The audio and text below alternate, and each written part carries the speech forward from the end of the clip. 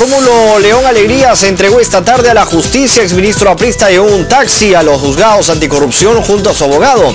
En diálogo con Canal N, su hijo Rómulo León Romero dijo que confía en el Poder Judicial.